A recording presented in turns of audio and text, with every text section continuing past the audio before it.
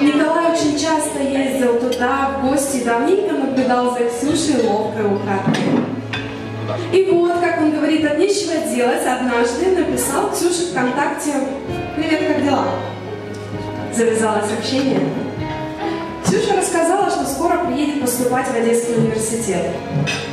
Коля настойчиво сказал, что они должны будут обязательно встретиться. И когда эта хрупкая абитуриентка учила законы математики на вокзале, наш благородный жених приехал к ней на долгожданную встречу. И летя на крыльях ветра, Коля взял букет цветов и примчался к своей будущей супруге. Через время Ксюша ответила «да» на вопрос Коля о том, смогут ли они встречаться. Она не догадывалась, что Коля влюблен в нее окончательно и бесповоротно.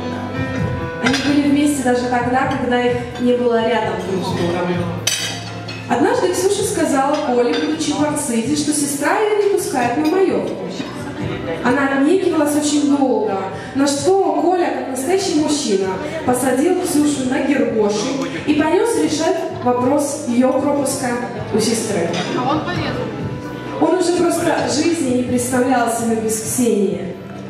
И, конечно, видя всю серьезность отношения Николая к Ксении, любимая сестра отпустила свою маленькую, такую любимую сердцем девочку.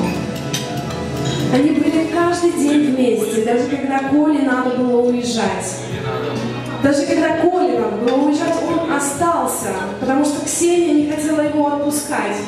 Она просто заплакала и сказала, нет, я не хочу, чтобы ты уезжал. Она не хотела его отпускать ни на минутку, так же само, как и Николай. Даже случилась такая ситуация, что имея свое личное авто, Коля каким-то образом оказался с Ксюшей в одной маршрутке. Все шло к тому, что они навсегда неразлучны. Эти чудеса будут постоянно. Они связаны крепкой нитью под названием «Любовь». Николай сразу сказал всем, что Ксения его невеста. И точка. Ну, в общем-то, так и получилось.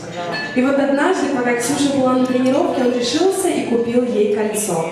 Он очень переживал, так как романтический ужин он не успел сделать. Но это было уже не важно. Он просто спросил у Ксюши, будешь ли ты моей женой? Конечно. Она сказала «да». И вот сегодня мы с вами празднуем их самую романтичную и красивую свадьбу в мире. Я хочу, чтобы вы все подняли свои бокалы и громко и звонко прокричали «Первая горько молодым».